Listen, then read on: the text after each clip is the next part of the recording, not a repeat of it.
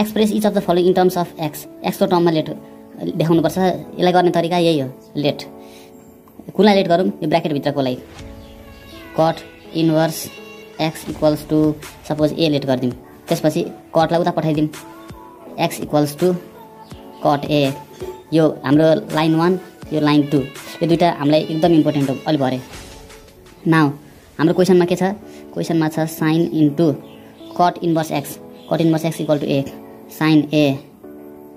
यो आयो। यो भनेको कति कहाँबाट आयो? यसरी लेख्दा पनि हुन्छ।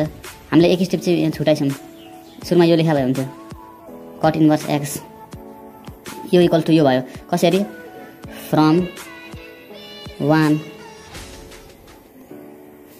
or sine bracket cot inverse x equals to sine a. यो भयो।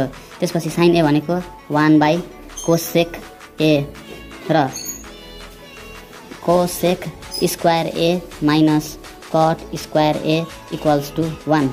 यो फर्मुलाबाट एउटा फर्मुला डिराइभ हुन्छ।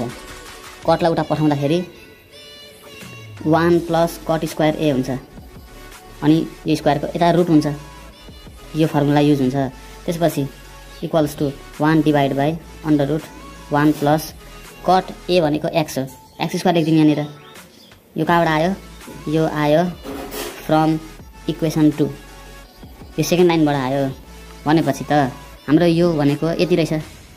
Therefore direct sine into cot inverse x equals to one divide by under root 1 plus x square this is the answer